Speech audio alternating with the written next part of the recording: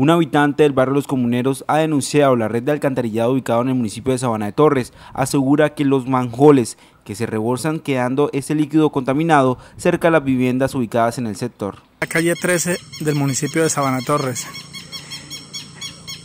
Así luce esta calle después de un contrato de obra pública 259 del 2019, el cual no se ha, no se ha terminado esta obra y el cual nos está causando problemas a nuestra comunidad en este barrio, debido a que las alcantarillas de aguas negras se nos están rebosando.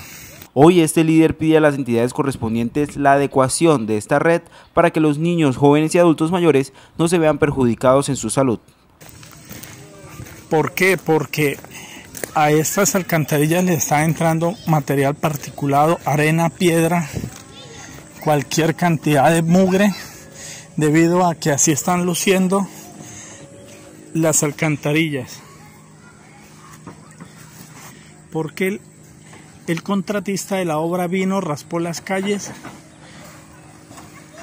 hizo el cambio de alcantarillado, de la red de alcantarillado, pero como podemos observar ahí en el video, quedaron destapadas las cajas afirma que la petar ubicada en cercanía de este barrio influye en la afectación del alcantarillado del sector. Se espera que la entidad a cargo en las próximas horas brinde una respuesta oportuna con referencia a este caso.